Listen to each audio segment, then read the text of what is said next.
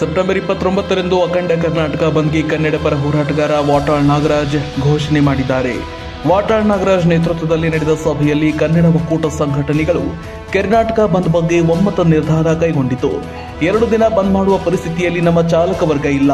ಆರ್ಥಿಕ ಸಂಕಷ್ಟದ ಸುಳಿಯಲ್ಲಿದ್ದೇವೆ. ಎರಡು ದಿನ ದುಡಿಮೆ ಕಳೆದುಕೊಳ್ಳಲು ಸಾಧ್ಯವಿಲ್ಲ ಎಂಬ ಕೂಗು ನಮ್ಮ ಸಂಘಟನೆಗಳ ಚಾಲಕರದ್ದಾಗಿದೆ.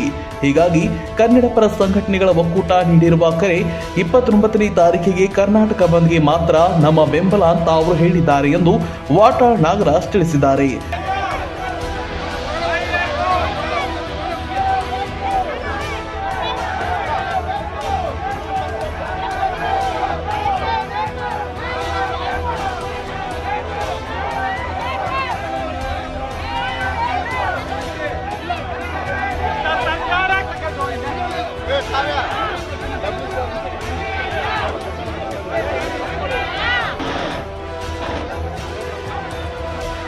ಬಹಳ ಜನ ಬರುವರಿದ್ದಾರೆ ಬಂದಿರೋರ ಹತ್ರ ಒಂದೊಂದು ನಿಮಿಷ ಮಾತಾಡಿಸೋದು ಸಂಪ್ರದಾಯ.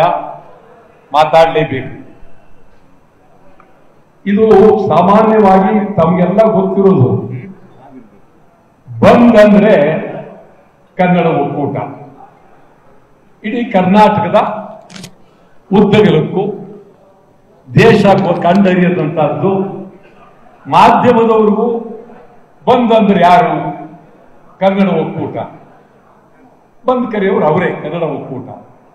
ಬೇರೆ ಯಾರು ಕರೆದಿರ್ತಕ್ಕಂಥದ್ದನ್ನ ಇತಿಹಾಸದಲ್ಲಿ ಇಲ್ಲ. ಇದು ನಾವು ಸಭೆಯನ್ನ ಕರೆದು ಚರ್ಚೆ ಮಾಡಿ ಒಂದು ಗೌರವವಾಗಿ, ಒಂದು ನಿಧಾನವಾಗಿ ಮಾತನಾಡಿ, ಒಂದು ದಿನಾಂಕವನ್ನ ಪ್ರಕಟಣೆ ಮಾಡಬೇಕು ಅಂತೇಳಿ ತೀರ್ಮಾನ ಮಾಡಿದ್ರು ನಾವು ಸಭೆ ಕರೆದಿರೋದನ್ನ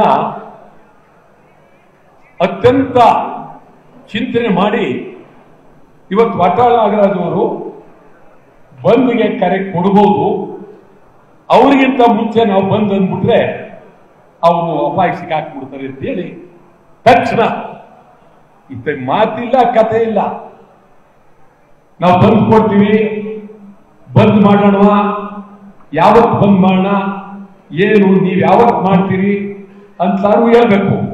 ಇಲ್ಲ, ನಾವು ಹೊಸದಾಗಿ ಬಂದ್ ಮಾಡಕ್ಕೆ ಬೆಂಗಳೂರಲ್ಲಿ ಅಂಗಡಿ ತೆಗೆದಿದ್ದೀವಿ. ನಮ್ ವ್ಯಾಪಾರ ಬನ್ನಿ ಅಂತಾರು ಹೇಳ್ಬೇಕು. ಯಾವುದೂ ಇಲ್ಲ. ಸಡನ್ ಆಗಿ ಇಪ್ಪತ್ತಾರು. ಬೆಂಗಳೂರು ಬಂದು ಮುಗಿದೋಯ್ತು ಯಾರು? ಯಾರು ನೀವು? ನಿಮ್ಮನ್ನು ನಾನು ಯಾರು ಬೇಕಾದ್ರೂ ಬಂದು ಕೊಡ್ಬೋದು. ಆದರೆ ಪರಿಸ್ಥಿತಿ ಇವತ್ತು ಏನಿವತ್ತು? ನಾವು ಸರಸಾಡ್ಬೇಕಾ? ಬಂಧನ ಜೊತೆಯಲ್ಲಿ ಅಥವಾ ನಾವು ಯಾವ ರಾಜಕೀಯ ಮಾಡ್ಬೇಕಿಲ್ಲಿ? ರಾಜಕೀಯ ಮಾಡ್ಬೇಕಿಲ್ಲಿ? ರಾಜಕೀಯದ ಪ್ರಶ್ನೆ ಇಲ್ಲ. ನಾನು ಜೀವನದಲ್ಲಿ ರಾಜಕೀಯ ಮಾಡಿದ್ರೆ ನಾನು ಎಂದೋ ಚೀಫ್ ಮಿನಿಸ್ಟರ್ ಆಗ್ತಿದ್ದೆ. ರಾಜಕೀಯ ಮಾಡಿದೆ. ಕನ್ನಡ ಈ ನಾಡಿಗಾಗಿ ನಾನು ಇಡೀ ಜೀವನವನ್ನೇ ಅರ್ಪಣೆ ಮಾಡತಕ್ಕಂಥ ಇದು ಸತ್ಯ ಸತ್ಯ. ಹೋರಾಟದಿಂದ ಹಿಡಿದು ಎಲ್ಲ ಕನ್ನಡ ಪರ ನಾಡಪರ ಅಥವಾ ಮಾದಾಯಿ ಹೋರಾಟ ಇರ್ಬೋದು, ಬೆಳಗಾವಿ ಗಡಿಭಾಗದ ಹೋರಾಟ ಇರ್ಬೋದು, ಆ ಹೋರಾಟದ ಮತ್ತೆ ಅನೇಕ ಪದಗಳಲ್ಲಿ ರಾಜ್ಯದ ಪದಗಳಲ್ಲಿ ವಾಟಾಳ್ ನಾಗರಾಜ್ ಅವರು ಬಂದ್ಗಳಲ್ಲಿ ಎಲ್ಲರೂ ಸಹ ಬೆಂಬಲವನ್ನು ಕೊಡ್ತಾ ಇದ್ರು ಏಕಾಏಕಿ ಬಂದ್ ನಾವು ತೀರ್ಮಾನ ಮಾಡಿದವಾಗ ಒಂದು ರಾಜಕೀಯ ಪಕ್ಷ ಬಂದಲ್ಲಿ ನಮ್ಗಿಂತ ಮುಂಚೆ, ಒಂದು ಎರಡು ದಿನ ಮುಂಚೆ ಬಂದ್ ಕರೆಯನ್ನ ಕೊಡ್ತಾರೆ. ಒಂದೇ ದಿನ ಮುಂದೆ ಬೆಂಗಳೂರು ಬಂದ್ ಆಗ್ಬೇಕಾದ್ರೆ ಕನ್ನಡ ಪರ ಸಂಘಟನೆಗಳು ಬೀದಿ ಬೀದಿಯಲ್ಲಿ ಸುತ್ತಿ ಅನೇಕ ಸಂಘಟನೆಗಳನ್ನ ಕರೆದು ಮಾತಾಡಿ ಒಪ್ಪಿಸಿ ಈ ರಾಜ್ಯ ಬಂದನ್ನ ಕರೆ ಕೊಡ್ತಾ ಇದ್ರು ಅವರು.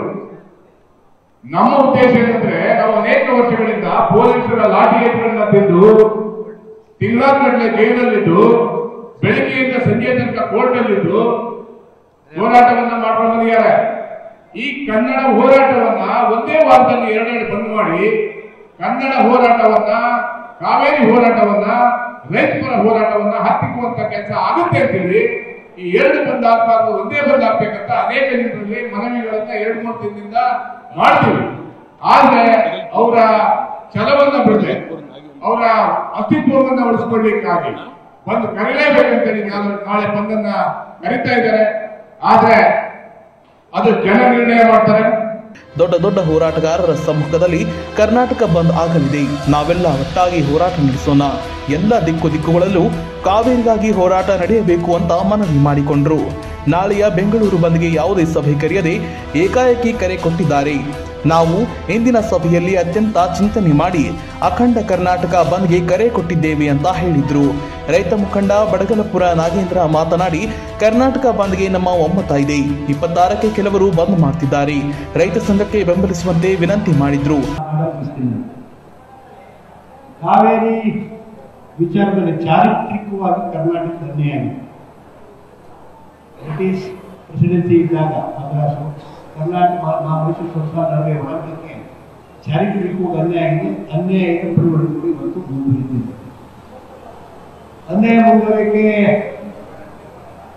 ನಾವು ಕೂಡ ಕಾಣ್ತೇವೆ ನಮ್ಮ ಕರ್ನಾಟಕ ರಾಜಕಾರಣ ಇಚ್ಛಾಶಕ್ತಿಗಳನ್ನ ಪ್ರದರ್ಶನ ಮಾಡಿದ್ರೆ ಎಚ್ಚರಿಸಬೇಕಾಗಿತ್ತು ಅದು ಇತಿಹಾಸ, ಯಾರು ಟೀಕ್ ಟೀಕೆ ಮಾಡಕ್ಕೆ ಹೋಗಲ್ಲ, ಮುಂದೆ ಬರ್ತಕ್ಕಂಥ ಇವತ್ತು ಕರ್ನಾಟಕದ ಪರಿಸ್ಥಿತಿಯಲ್ಲಿ ಚಳುವಳಿ ಒಂದು ಕೂಗಾಗಬೇಕು ಅನ್ನೋದಿಲ್ಲ ಈ ಎರಡು ಕೂಗಳಾಗಿರುವಂತೆ ವಿಷಾದದಿಂದ ಮಾತಾಡಕ್ಕೆ ಇಷ್ಟಪಡ್ತಿದ್ದೀವಿ ಇಪ್ಪತ್ತೊಂಬತ್ತನೇ ತಾರೀಕು ಕರ್ನಾಟಕ ಬಂದ್ಗೆ ವಾಟಾಳ್ ಹಿರಿಕರು ಮತ್ತು ಎಲ್ಲರೂ ಬರೆದಿದ್ದಾರೆ. ನಾಳೆ ಒಂದು ಬರೆ ಇರ್ತಾರೆ ನಾವು ಎರಡೂ ಮಾಡಿ ಇರುವಂತಕ್ಕೆ ವಿಚಾರಕ್ಕೆ ಇವತ್ತು ಬಂದು ನಾವು ಬಂದ್ ಆಗೇ ಆಗಬೇಕು ಅಂತ ಹೇಳಿದ್ದೇವೆ.